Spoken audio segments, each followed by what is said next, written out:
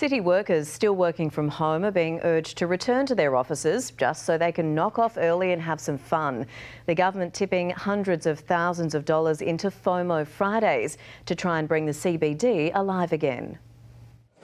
Come for work and stay for a beer. That's the message to entice workers back to the CBD on Fridays. What we're seeing is Friday, the lunch trade, uh, the trade throughout the day and into the early evening has really dramatically uh, dropped. City traders saying foot traffic dropped 20% on two years ago because the pandemic drove people to work from home and some have stayed there. It has significantly dropped and we are missing our Friday punters, so we do really want them back. The state government pouring $800,000 into FOMO, the fear of missing out.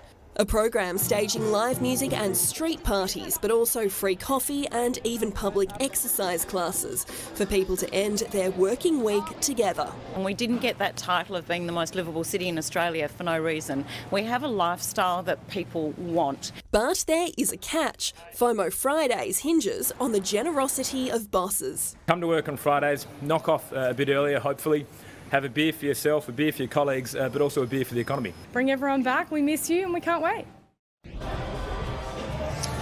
Well, this setup behind me tonight is exactly the kind of thing we can expect to see for FOMO Fridays. There'll be live music, fire pits, street parties, and street closures every Friday night. They'll run alongside other daytime events, and it'll all kick off as the weather starts to heat up in September.